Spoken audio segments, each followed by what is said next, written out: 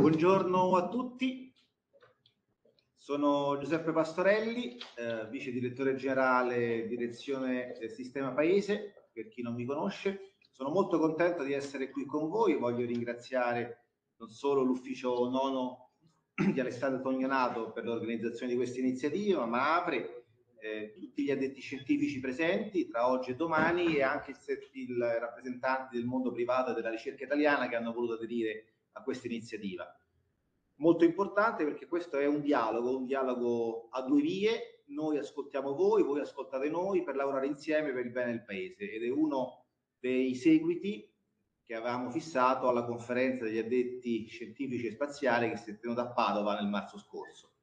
Vogliamo sempre di più che questa preziosissima rete composta da 50 professionisti sia un valore aggiunto oh, per il Paese e quindi eh, noi siamo all'estero dislocati in tanti paesi del mondo per lavorare insieme e promuovere la ricerca italiana, favorire la mobilità, eh, attrarre talenti e dare un contributo anche per trasferire eh, conoscenze dal, dal mondo della ricerca, dell'università a quello dell'impresa con l'obiettivo di stimolare la crescita del nostro paese e la collaborazione internazionale, perché come sapete la ricerca è anche un importantissimo elemento del, dei rapporti internazionali su cui questo Ministero punta con forza. Lo dimostra il fatto che la rete degli addetti è cresciuta negli ultimi due anni da 29 a 50 e noi auspichiamo che cresca ulteriormente. Quindi grazie eh, per queste due giornate di lavoro, di confronto e passo la parola ad Alessandro Tognonato, il capo dell'ufficio nono della DGSP che si occupa di collaborazione scientifica bilaterale. Grazie a tutti. Buongiorno a tutti, grazie per esservi connessi, a tutti i partecipanti che ho visto essere molto numerosi, abbiamo circa 200 iscritti. Eh, un enorme grazie a Marco Falsetti e Matilde De Bonis anche da parte mia e ai nostri addetti scientifici che si sono preparati per questa giornata in modo molto propositivo eh, per condividere dei, dei, contenuti estremamente interessanti. Um, una piccola premessa, eh, la diplomazia scientifica è eh, inserita al Ministero degli Affari Esteri nella Direzione Generale per la Promozione del Sistema Paese per quale motivo? Perché grazie alla scienza, alla tecnologia, all'innovazione, siamo convinti che possiamo dare un contributo ehm, fattuale al potenziamento della nostra eh, crescita, quindi a favore delle imprese, a favore del, dell'industria italiana e a favore dei nostri enti di ricerca che hanno un livello di eccellenza ehm, che va mh, valorizzato nel mondo, che va eh, ulteriormente rafforzato grazie alle collaborazioni con i più grandi partner internazionali, ehm, anche nell'ottica di attrarre in Italia investimenti, di attrarre ricercatori di eccellenza, di attrarre idealmente ehm, infrastrutture eh, di eccellenza. Um, siamo qui oggi um, quindi per eh, analizzare assieme come rafforzare la cooperazione internazionale in questi settori della ricerca e dell'innovazione, grazie a sei sessioni eh, che coinvolgeranno gli attori eh, italiani a 360 gradi, sia nel settore pubblico che in quello eh, privato e l'obiettivo auspicabilmente è di eh, creare nuovi contatti, quindi eh, coloro che eh, partecipano potranno poi ehm, raggiungerci per eh, approfondire opportunità di collaborazione o per fare delle domande di approfondimento. Eh, naturalmente per fare il sistema, perché soltanto conoscendo quello che eh, l'Italia, sia a livello di centri di ricerca, a livello di università, a livello di imprese, start-up, può offrire, possiamo tutti assieme meglio valorizzare quello che è ehm, il nostro sistema all'estero. Eh, quindi tutti assieme riusciamo chiaramente ad avere un valore aggiunto che da soli eh, non, non, sarebbe su eh, sufficiente a raggiungere eh, certi livelli. E poi chiaramente siamo qui per raccogliere spunti e informazioni, infatti sono anch'io armata di eh, matita e quaderno per, per, gli appunti, perché ogni opportunità di incontro con, ehm, con APRE, con la nostra comunità scientifica, con la rete degli addetti con le imprese che lavorano nel settore della ricerca e dell'innovazione offre nuove idee, nuove, nuovi spunti di collaborazione, nuovi spunti per creare delle, eh, dei, dei, contatti anche con partner all'estero. Ehm, su quello appunto che sia che possiamo offrire che possiamo cercare eh, grazie alla cooperazione internazionale. Qui mi fermo, eh, buon lavoro, grazie.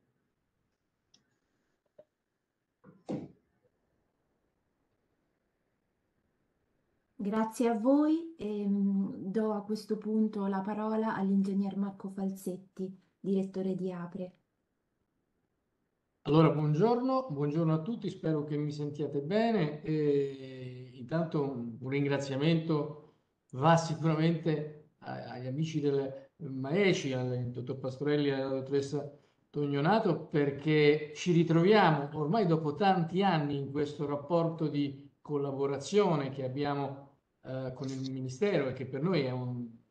qualcosa che ci fa molto piacere, non solo perché c'è una relazione istituzionale importante con un ministero importante, ma soprattutto perché ehm, c'è una storia dietro a quella che è un po' anche questa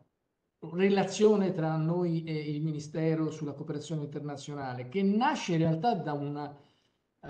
visione diversa. Il Maeci, quando parla di cooperazione internazionale, ha una visione a 360 gradi. Noi ci siamo avvicinati e da questo poi è nato un rapporto con il Ministero, evidentemente da una prospettiva che era quella europea. L'Europa ha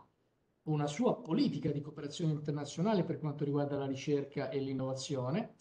e, e, che non, non, individua evidentemente tutta quello che è la dinamica di cooperazione internazionale che può avere il Ministero anche in campo di ricerca e innovazione, perché evidentemente questo non comprende le, le questioni dei bilaterali che invece eh, sono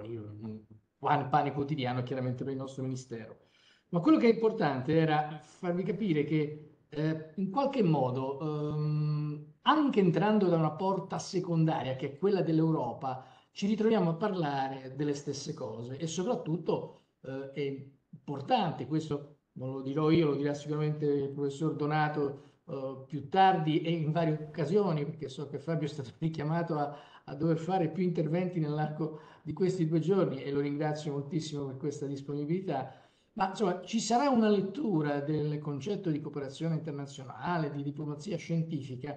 ehm, che parte anche da una lettura europea e che può ispirare un certo tipo di ragionamento. Dico questo perché, mh, mm, ripeto, noi come soggetto nazionale apre, non abbiamo un, un, una nostra posizionamento, un nostro eh, ruolo nell'ambito per esempio di quello che è la eh, collaborazione bilaterale eh, tra l'Italia e qualunque altro paese. Ma in realtà ormai un, molto spesso lo abbiamo, ci è accaduto proprio in sinergia con il Ministero, con molti di voi, con alcuni addetti scientifici, di organizzare spesso eventi che partendo da un'idea di collaborazione, quindi di strategia di bilaterale con un certo paese, si sono arricchiti anche della componente europea, cioè si è andato a ragionare eh, tra e un altro paese all'interno magari di un evento organizzato da noi insieme al Ministero, insieme alla rappresentanza eh, di quel paese, eh, per parlare di cooperazione internazionale a 360 gradi, avendo anche un occhio chiaramente su quello che è la dimensione europea. Perché sapete benissimo che ci sono non solo uh, delle politiche di cooperazione internazionale all'interno dell'Unione Europea su ricerca e sviluppo, chiaramente io sto parlando, um, come dire, di tipo centrale, ma ci sono anche tutta una serie di poi eh, messe a terra all'interno dei vari programmi, quindi tematicamente declinati, eh, con tantissime interessanti aperture verso diverse aree geografiche. Questo è quello che in parte poi credo anche nell'occasione di queste giornate, queste due giornate, quindi nelle varie sessioni, sarà opportuno approfondire.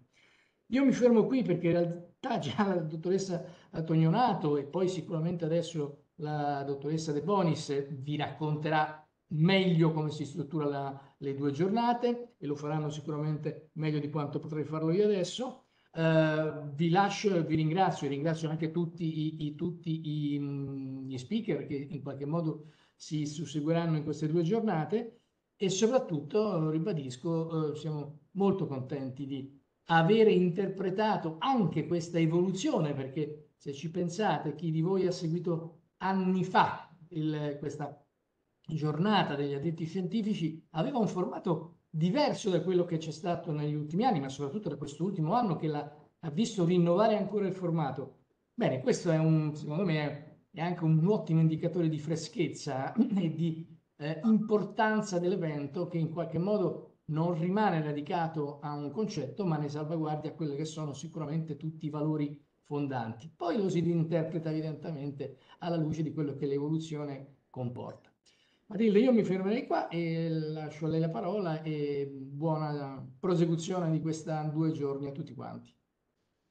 La ringrazio ingegnere, la ringrazio molto e approfitto per dare anche da parte mia chiaramente il benvenuto ai partecipanti e per ricordare loro che per qualsiasi eh, domanda per le sessioni di Q&A è attiva nella chat di web, nel, in Webex appunto la chat. Um, come abbiamo um, capito si tratta di queste due giornate oggi e domani nelle quali abbiamo voluto proporre sei sessioni di incontri eh, online con le addette, gli addetti scientifici e spaziali del Ministero, um, sei sessioni che avranno luogo quattro nella giornata di oggi, a seguire a questa dedicata alle organizzazioni internazionali seguiranno eh, la sessione Africa, la sessione Europa e la sessione Spazio. E eh, domani a partire dalle 9 eh, nella mattinata avremo la sessione Asia, Australia e Oceania e a seguire eh, la sessione Americhe. Ehm, per ciascuna sessione qui potete trovare il, anche un QR code che eh, direttamente vi eh, riporta al programma aggiornato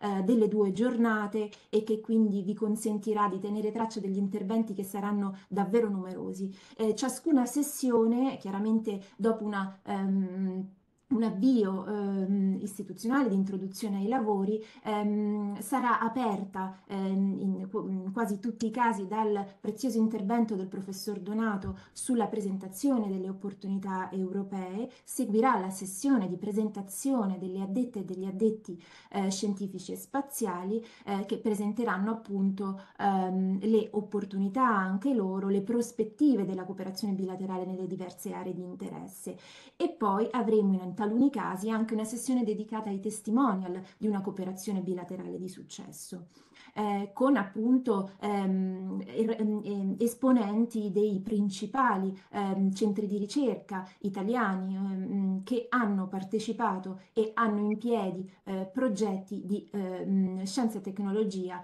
eh, con eh, le aree eh, di riferimento. Eh, e poi appunto eh, l'incontro con la comunità RNA italiana si concretizzerà all'interno di queste sessioni di pitch dal mondo della ricerca ehm, italiana, ehm, sessioni in cui abbiamo eh, voluto raccogliere appunto i ehm, gli attori eh, RNAi della comunità eh, di ricerca italiana eh, che interverranno in 5 minuti in, ma in maniera molto efficace eh, presentando ehm, la, le loro organizzazioni, i punti di forza delle loro organizzazioni, la loro idea di collaborazione in fondo ehm, con ehm, le aree di riferimento nelle rispettive sessioni.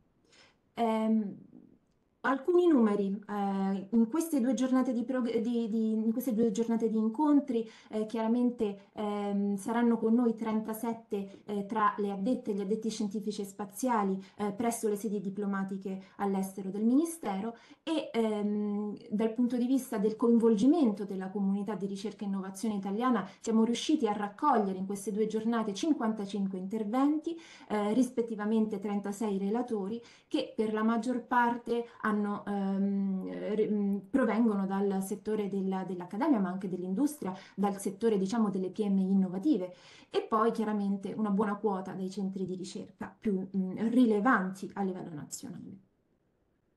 Ehm, mi preme diciamo, segnalare fin da ora quelli che saranno i next step per i partecipanti a beneficio della ehm, comunità di ricerca italiana e eh, poi anche degli stessi eh, addetti eh, all'estero nelle,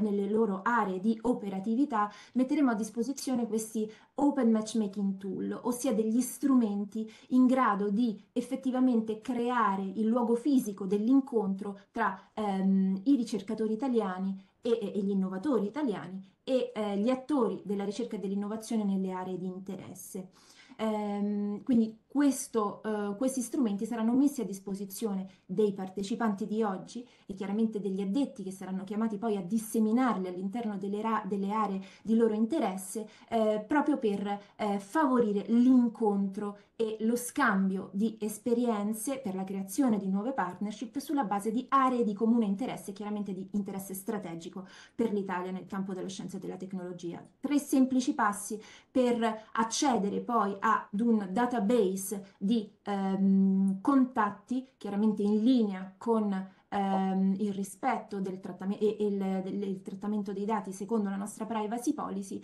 e ehm, quindi per riuscire sostanzialmente a, um,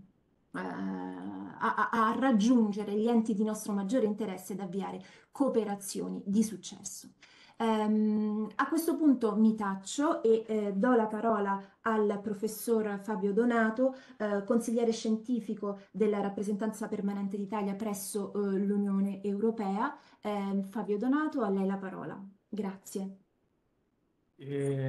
Buongiorno, buongiorno, a tutti, buongiorno da, da Bruxelles, dalla eh, rappresentanza permanente d'Italia all'Unione Europea. Innanzitutto davvero un, un sentito ringraziamento al, al, dottor Pastorelli, alla dottoressa eh, Tognonato eh, per questa opportunità, per dare eh, seguito all'importante evento eh, che si tenne alcuni mesi fa a, a Padova. Un ringraziamento a Apri, al direttore Falzetti, eh, per l'attività di supporto sempre preziosa eh, da parte del, dell'agenzia e, e, e, e, e consentitemi anche un, un, saluto molto cordiale, molto affettuoso agli amici e, colleghi addetti scientifici e spaziali e naturalmente un sentito buongiorno a, a tutti i partecipanti. allora, eh, il, il, lavoro in rappresentanza permanente, eh, come nelle altre sedi multilaterali, è, è un pochino differente rispetto a eh, a quello delle, delle sedi bilaterali. Eh, qua l'addetto scientifico, il consigliere scientifico non, non svolge un ruolo eh, di promozione, ma eh, sostanzialmente svolge un ruolo di eh, negoziato, il negoziato tecnico che poi arriva a livello superiore degli ambasciatori per poi essere eh, portato alla discussione e approvazione da parte dei, dei ministri. Peraltro eh, proprio ieri abbiamo avuto il Consiglio Competitività Parte Ricerca con l'approvazione di importanti conclusioni del Consiglio e con eh, dibattiti politici davvero di, di alto livello. Ehm, eh, ringrazio per l'opportunità di, di, di, poter intervenire eh, in, in, diversi ambiti, in diverse sessioni e quindi dare il quadro delle opportunità europee focalizzate per diverse aree geografiche. Eh, a questo stadio darei la cornice generale eh, delle, delle, opportunità. Eh, le opportunità a livello ehm, Unione Europea per ricerca e innovazione eh, si ehm, eh, raggruppano in due macroambiti. Eh, il primo ambito è quello del programma di ehm, ricerca e innovazione europea Horizon Europe. il secondo ambito riguarda invece la attuazione degli accordi di cooperazione eh, scientifica e tecnologica tra l'Unione Europea, quindi non i singoli Stati membri, tra l'Unione Europea e diversi eh, soggetti e diverse eh, aree geografiche eh, eh, mondiali. Eh, per quanto riguarda ehm, Horizon Europe, abbiamo tre diversi livelli di potenziale interesse primo livello riguarda eh, tutti coloro che operano all'interno di Stati membri. Eh, nel caso degli Stati membri, come è evidente che sia, eh, l'accesso a Horizon Europe è un accesso pieno, eh, senza limitazione alcuna e con la possibilità di partecipare ai bandi sia eh, in forma monobeneficiaria sia nell'ambito invece di consorzi, quindi di rapporti collaborativi eh, più ampi, a seconda naturalmente delle tipologie di call di bandi eh, di finanziamento. Eh, la seconda invece eh, chiamiamola macro categoria di ehm, opportunità, eh, deriva dalle eh, possibili attività di ricerca e innovazione, quindi relativi finanziamenti, da svolgersi in paesi che non siano stati membri, ma che eh, sulla base di una precisa procedura e sulla base quindi dell'esito eh, positivo eh, della, della, conclusione di tale procedura eh, si siano associati a Horizon Europe. Eh, in questo caso quindi sono degli, eh, dei paesi terzi, non sono stati membri, ma attraverso l'associazione sul piano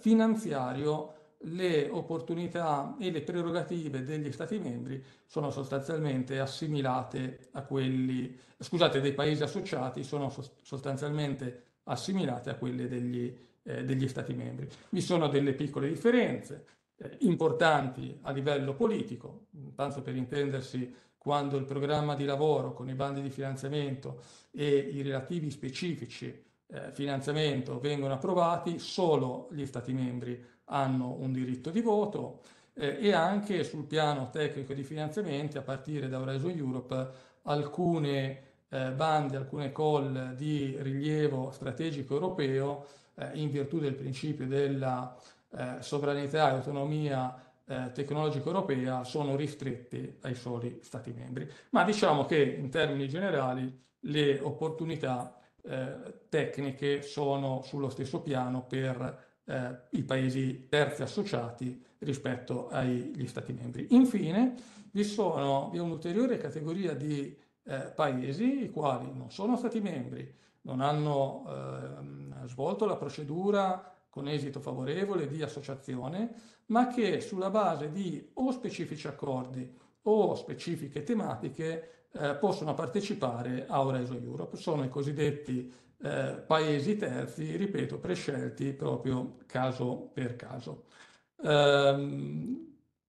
su Horizon Europe l'ultima cosa che dico è quella eh, forse più importante, cioè il budget. Eh, Horizon Europe ha un budget di 95,5 miliardi di euro, eh, è a livello mondiale il programma di ricerca e innovazione integrato eh, più importante, più finanziato al mondo, il che non significa che altri importanti eh, player non abbiano dei programmi di ricerca e innovazione o che cumulativamente non abbiano un finanziamento anche superiore, ma lo hanno distinto in programmi diversi. La grande forza di Horizon Europe è proprio questa di essere un programma integrato all'interno del quale si può eh, navigare anche in modo interdisciplinare e intersettoriale per le imprese in modo tale da trovare i bandi e le opportunità di maggiore interesse. Eh, ultimo punto eh, a cascata su Horizon Europe, il fatto che mentre tradizionalmente i programmi di ricerca e innovazione eh, erano rivolti soprattutto al mondo della ricerca, eh, già con il predecessore Horizon 2020, ancora di più con Horizon Europe, il ruolo delle imprese è al pari livello, pari dignità, pari di importanza di quello delle eh, istituzioni di ricerca. Eh, la seconda invece eh, grande macro opportunità è collegata agli accordi di cooperazione scientifica e tecnologica, accordi che riguardano l'Unione Europea e di nuovo altri soggetti che possiamo eh, ulteriormente distinguere in due sottocategorie. Vi sono degli accordi di cooperazione scientifica e tecnologica con singoli, stati con, eh, singoli paesi terzi, eh, la Cina piuttosto che eh, gli Stati Uniti, piuttosto che il Brasile, potrei proseguire, ma vi sono anche degli accordi di cooperazione scientifica e tecnologica eh, che riguardano macro regioni geografiche. Allora, eh, in questo caso è da un lato.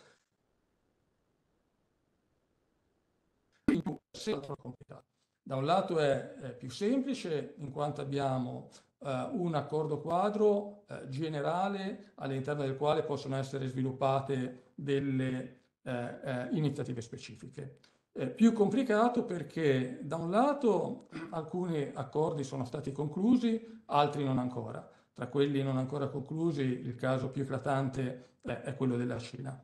Eh, i, i, più complicato anche perché eh, mentre nel caso di Horizon Europe i bandi di finanziamento sono immediatamente pubblicati, quindi con una procedura attraverso questo comitato di programma che consente una immediata pubblicazione, non c'è dubbio che la traduzione di un accordo di cooperazione scientifica e tecnologica generale in, attraverso passaggi successivi, un vero e proprio bando di finanziamento eh, richiede procedure e tempi eh, eh, più rilevanti. Eh, io mi, mi, fermerei qui, a questo stadio intendevo dare solo la cornice all'interno della quale poi si svolgeranno gli approfondimenti, gli approfondimenti di natura eh, macro-regionale, quelli per l'Europa, quelli per l'Africa, quelli per l'America e così via. Eh, naturalmente però resto, resto, a vostra disposizione per qualsiasi richiesta di ulteriore informazione approfondimento, qualsiasi domanda. Grazie. Grazie molte al professor Donato. Eh, chiamerei a questo punto la dottoressa Cristina Bino, addetta scientifica alla rappresentanza permanente d'Italia alle Nazioni Unite a Ginevra. Prego. Buongiorno a tutti, innanzitutto ringrazio moltissimo per l'organizzazione di questo evento che per questa opportunità di interazione con il mondo della ricerca e, e innovazione italiana. Allora, io sono, sono il, ehm, il, rappresentante, eh, l'addetto scientifico presso le Nazioni Unite e tutte le organizzazioni internazionali scientifiche che ci sono a Ginevra. Eh, la Svizzera ospita organizzazioni internazionali da oltre 100 anni, ehm, in particolare a Ginevra c'è stato un grosso impulso dopo la seconda guerra mondiale e oggi ospita 22 grandi organizzazioni internazionali con accordi di sede, fra cui l'Ufficio delle Nazioni Unite, l'Organizzazione Europea per la Ricerca Nucleare, il CERN, l'Organizzazione Mondiale del Commercio e, e molte altre. Otto di queste sono agenzie delle Nazioni Unite, come l'Organizzazione Mondiale per la Proprietà Intellettuale, l'Unione Internazionale delle Telecomunicazioni, l'Organizzazione Mondiale della Meteorologia, solo per citarne alcune, ed è con queste che si tessono le relazioni multilaterali. Molte di queste organizzazioni hanno, contengono 193 paesi, quindi questo vi dà un'idea della dimensione multilaterale di queste organizzazioni. Ginevra è inoltre sede del Consiglio dei diritti umani. Allora, alcune di queste organizzazioni sono tecniche o con connotazione scientifica e tecnologiche, sono di queste che eh, mi devo occupare, che devo seguire. Um, Ehm, quindi noi partecipiamo alle attività di promozione integrata del sistema italiano sotto la guida del, dell'ambasciatore e in particolare partecipiamo ai lavori eh, di queste organizzazioni o ci occupiamo dell'assistenza alle delegazioni italiane presso gli organismi internazionali ehm, e inoltre ci occupiamo della promozione della scienza e della tecnologia italiana, eh, trasferimento di tecnologie verso le applicazioni industriali e eh, promozione di rapporti economici industriali nel settore delle tecnologie avanzate. Eh, l'organizzazione tecnica scientifica più importante di cui mi occupo è il CERN, il più importante laboratorio mondiale di fisica delle particelle, che è unico al mondo sia per complessità, prospettive scientifiche tecnologiche, potenzialità industriali a questo hanno accesso circa 10.000 scienziati che rappresentano circa la metà del mondo dei fisici delle particelle, circa 1.000 università e più di 100 nazionalità. Di cosa mi occupo? Allora, io sono il rappresentante italiano nel Comitato delle Finanze del CERN, mentre l'ambasciatore e il presidente dell'Istituto Nazionale di Fisica Nucleare Italiano sono i rappresentanti nazionali nel Council del CERN e io partecipo al Council in qualità di esperto. L'Italia, insieme all'INFN, partecipa al massimo livello alle sue attività ed è molto importante il ritorno economico per il sistema produttivo italiano grazie alle elevate capacità dell'industria nazionale di partecipare agli esperimenti con prodotti di alta tecnologia. La collaborazione con il CERN è molto proficua. E il nostro compito è verificare che la cooperazione fra ehm, l'Italia, in particolare fra l'INFN e le nostre industrie esterne, prosegua come è stato fino ad ora. Um, noi siamo presenti a tutti i livelli, non solo nel CERN come italiani, siamo presenti a tutti i livelli, non solo scientifici ma anche di management. È molto significativa la partecipazione degli studenti italiani, che sono tutti molto bravi e vincitori di molte competizioni promosse dal CERN. Eh, ci sono diverse competenze italiane che possono trovare ricadute anche in altri settori, ehm, non solo quello standard tecnologico, quindi sto parlando di criogenia, eh, magneti, ehm, eh, sistemi di, di, di, di, vuoto, ma anche il computing. Questo è un ambito in cui la ricerca e lo sviluppo sono all'avanguardia perché è intrinseco nell'attività di ricerca della fisica delle particelle e questo potrebbe avere un grosso, questo ha un grosso impiego per esempio negli studi di meteorologia.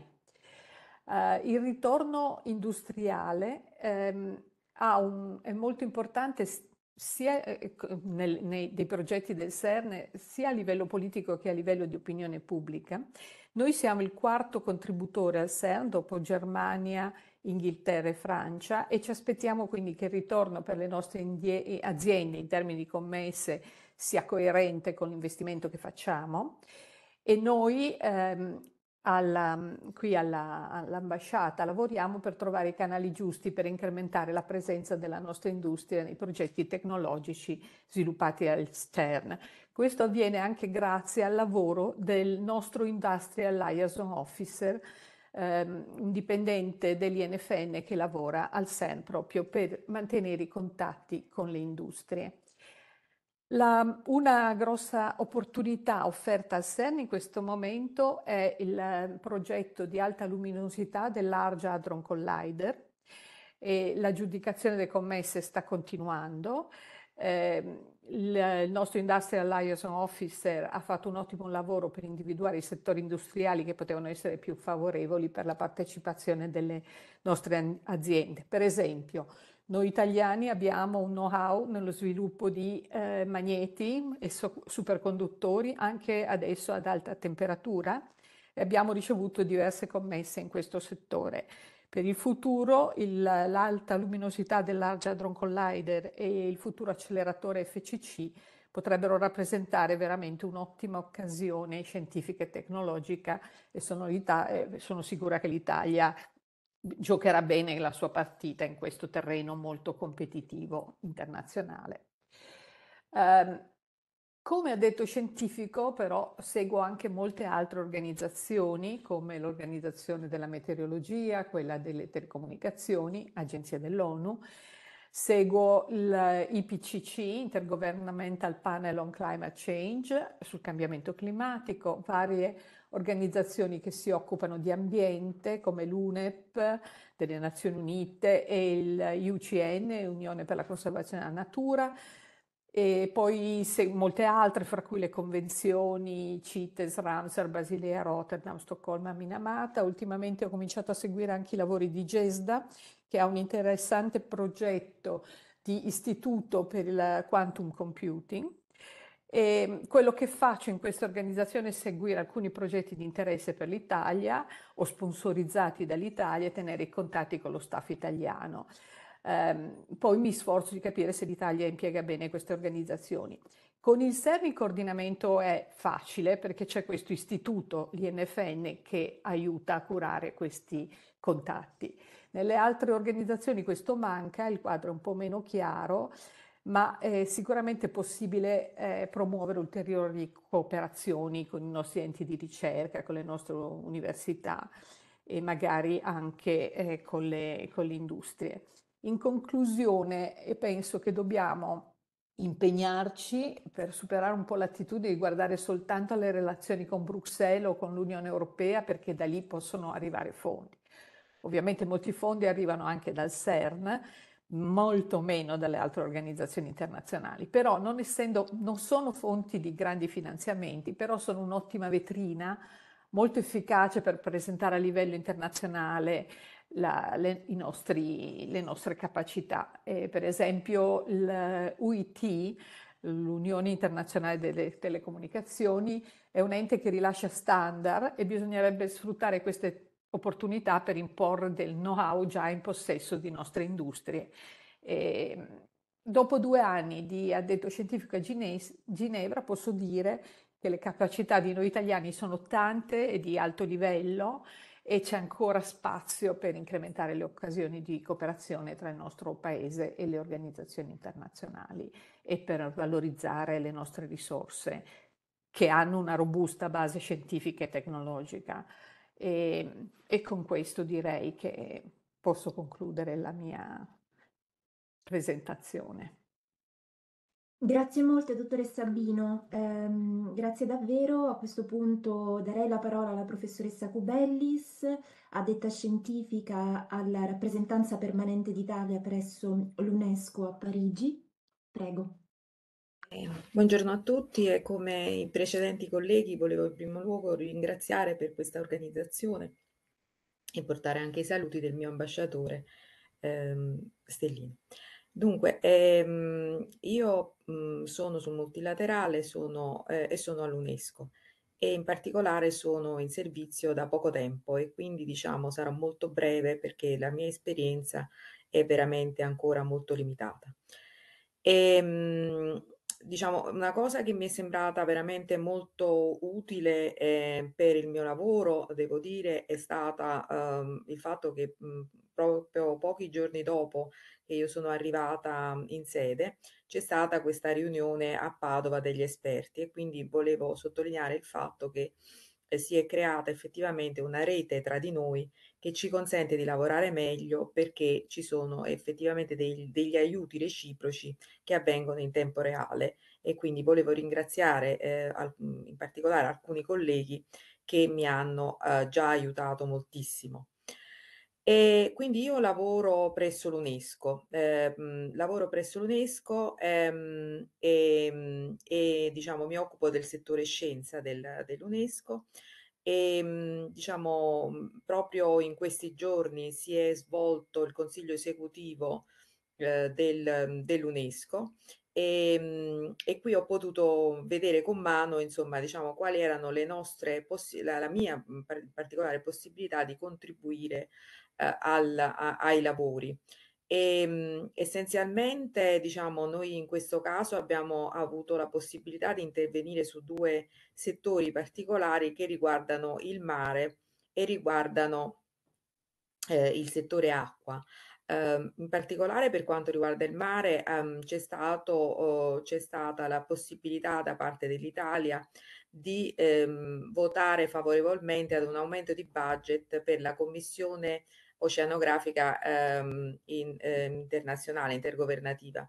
E diciamo per fare questo um, noi, io mi sono personalmente confrontata molto uh, con alcuni um, enti di ricerca italiani e in particolare col CNR e con l'Istituto uh, di um, Geofisica e Vulcanologia eh, e penso che sia stata una cosa utile perché anche se in questa fase noi dovevamo solamente, diciamo così, proporre un aumento di budget per il settore eh, della ricerca oceanografica, eh, in realtà eh, poi a, a, a, giugno ci sarà invece eh, il consiglio esecutivo proprio della, della, del, de, diciamo, dell'ente che si occupa di, dello IOC, che si occupa di ricerca oceanografica, però comunque abbiamo potuto cominciare a ehm, mettere in rilievo l'importanza che l'Italia può avere nel settore del Mediterraneo, eh, che è, eh, diciamo, data l'organizzazione che, che c'è all'UNESCO, ehm, che divide i paesi eh, in una, una, certa maniera, per cui, diciamo, nel caso del, della, della, ricerca nel Mediterraneo, noi ci troviamo ad avere che il Mediterraneo, ovviamente, essendo un mare che bagna tre continenti, non viene considerato come un, una eh, entità unica, eh, ma eh, ci sono i paesi del primo settore che sono quelli a cui noi apparteniamo, cioè quelli europei e nordamericani, poi ci sono i paesi dell'Africa, poi ci sono separatamente i paesi eh, asiatici, invece insomma diciamo abbiamo cercato eh, di eh, far passare l'idea che il Mediterraneo deve essere considerato nel suo insieme. E, e questo penso che per l'Italia sia un aspetto molto importante eh, visto che l'Italia eh, insomma, può svolgere un ruolo eh, di leader in, in quest'area geografica. E poi l'altro aspetto molto importante è stato quello di difendere l'investimento che l'Italia fa con un programma per, eh, diciamo, per eh, la, la, la, valutazione dell'utilizzazione dell'acqua che si chiama WAP ed è un, diciamo, un centro che si trova a Perugia. Eh, abbiamo visto con mano quanto è stato importante, insomma, diciamo, ehm, prendere informazioni e dare il supporto, diciamo, scientifico all'ambasciatore perché potesse difendere questo, uh, questo diciamo, che, il rilievo che, il, che, questo, che questo programma italiano ha a livello dell'UNESCO e eh, potenzialmente anche delle eh, Nazioni Unite. Quindi queste sono le cose, mh, le cose diciamo che più immediatamente, delle, delle quali più immediatamente mi sono interessata. E, ehm, mh, poi un altro aspetto importante che è abbastanza trasversale, perché diciamo ehm, io mi dovrei occupare non solo di scienze, diciamo tra virgolette, scienze esatte, scienze sperimentali, ma anche di scienze umane. Vabbè, e quindi diciamo eh, ci sono due, mh, due aspetti Uh, uno che è un po' uh, già in uno stato avanzato ed è quello che delle raccomandazioni per la scienza aperta, eh, in cui eh, dovrò seguire un po' anche la fase di report che eh, è richiesta all'Italia, bisogna capire quanto l'Italia sta rispondendo alle raccomandazioni sulla scienza aperta dell'UNESCO, che peraltro insomma anche a livello europeo è un tema che viene molto sentito e quindi diciamo è una cosa a cui dobbiamo stare molto attenti perché credo che eh, diciamo, l'Italia si, do, si, dovrà adeguare a queste, a queste nuove regole anche perché i finanziamenti per la ricerca oggi richiedono di seguire certe prassi riguardo all'apertura dei dati, alla interoperabilità dei dati, eccetera. E invece c'è un fatto nuovo che riguarda, eh, che riguarda le neurotecnologie, ehm, e, e in questo caso le raccomandazioni si dovranno fare e quindi diciamo su questo aspetto eh, io spero di poter coinvolgere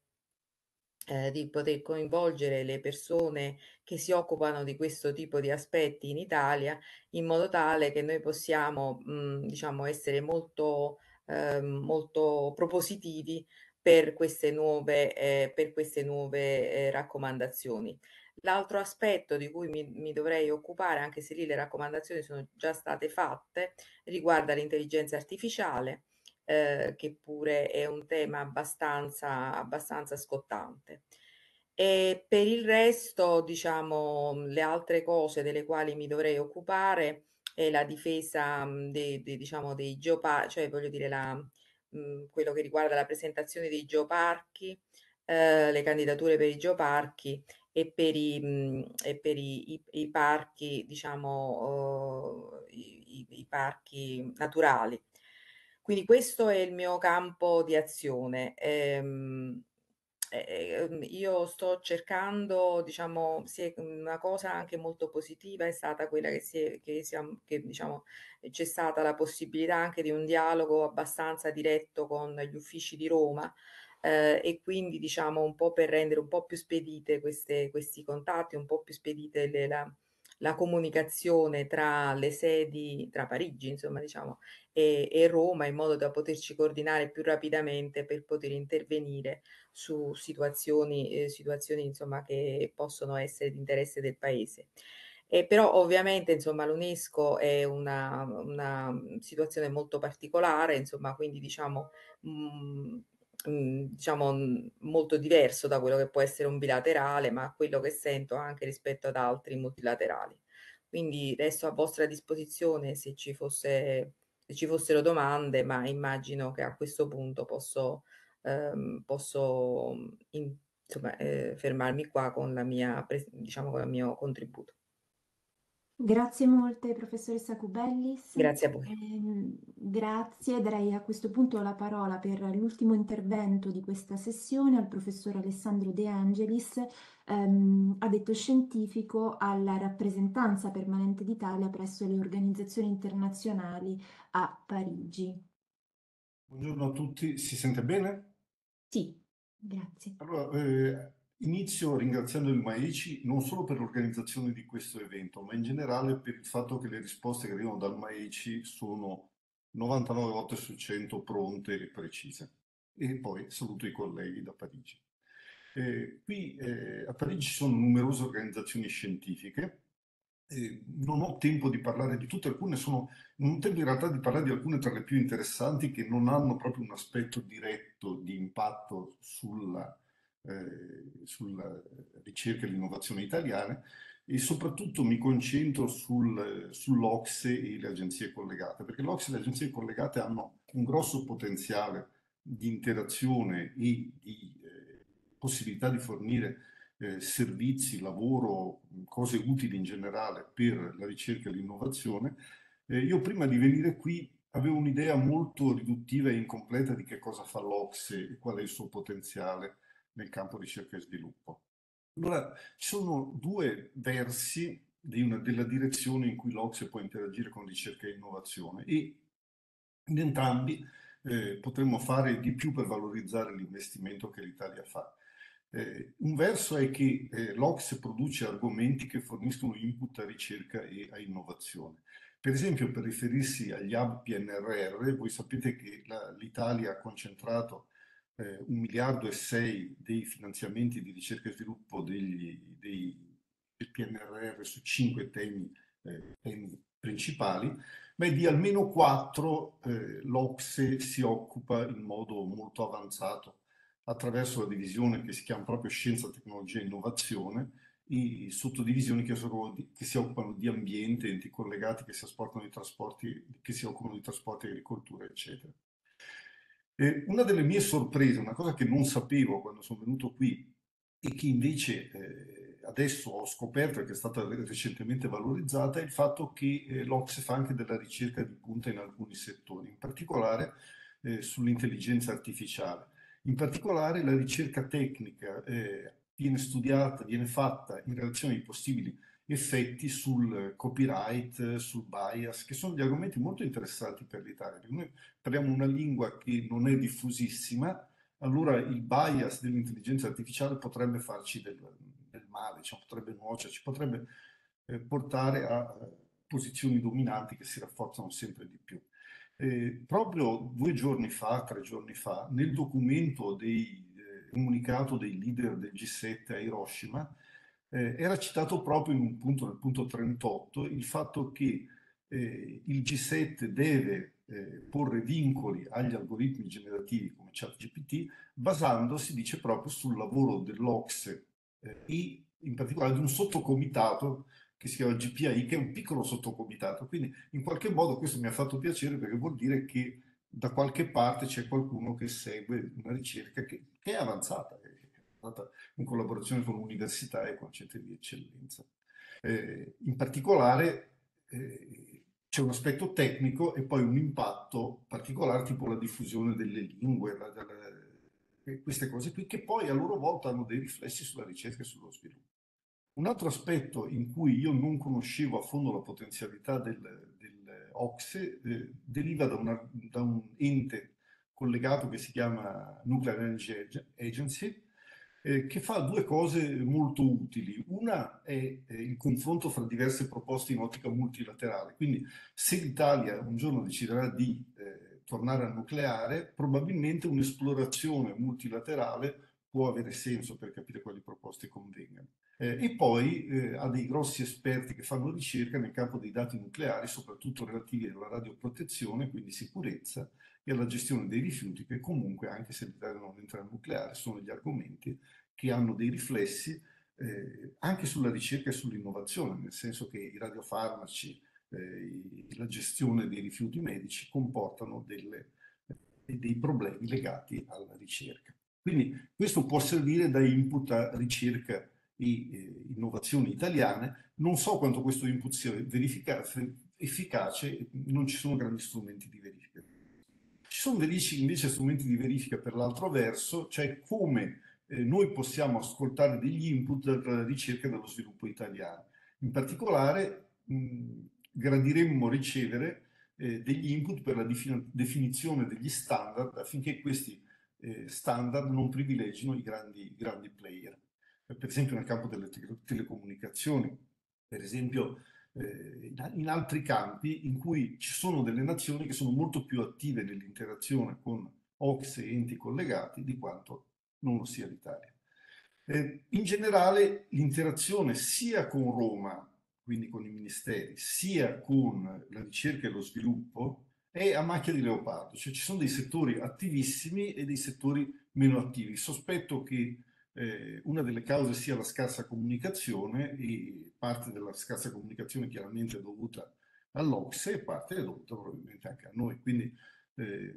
diciamo una richiesta che farei è una maggiore comunicazione, come, come l'evento di oggi dovrebbe fare, fra quello che possiamo fare e, eh, e gli attori principali, gli stakeholders, per usare una parola eh, che qui si usa molto, di queste trasformazioni. Ecco, per cui questo è quello che volevo dire, per il resto resto in ascolto, se qualcuno mi scrive gli rispondo, se qualcuno mi telefona gli rispondo al telefono. Grazie.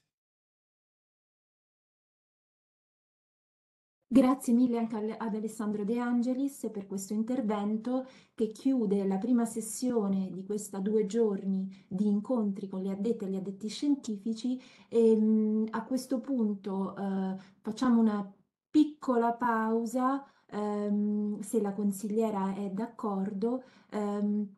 per eh, iniziare alle ore 10 in punto, come da programma, la seconda sessione eh, dedicata all'Africa. Consigliera, chiedo a lei semplicemente eh, l'ok per procedere in questo senso. Perfetto, grazie. Grazie.